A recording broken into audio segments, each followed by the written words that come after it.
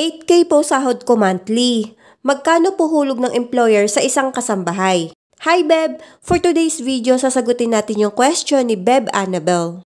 Beb, para po sa kasambahay, ito ang new schedule for household employers and kasambahay or household employee effective January 2023 up to this day na ginawa ko itong video.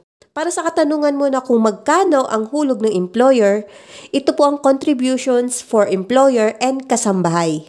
Kung ang sahod mo kada buwan bilang kasambahay ay 8,000, ito ang magiging share ninyo ng employer mo. 760 ay para sa household employer share. 360 naman ay para sa household employee or share mo. Then, 10 pesos ay para sa employee's compensation shouldered by your employer. So total of 770 ay para sa employer mo at 360 naman ay para sa iyo.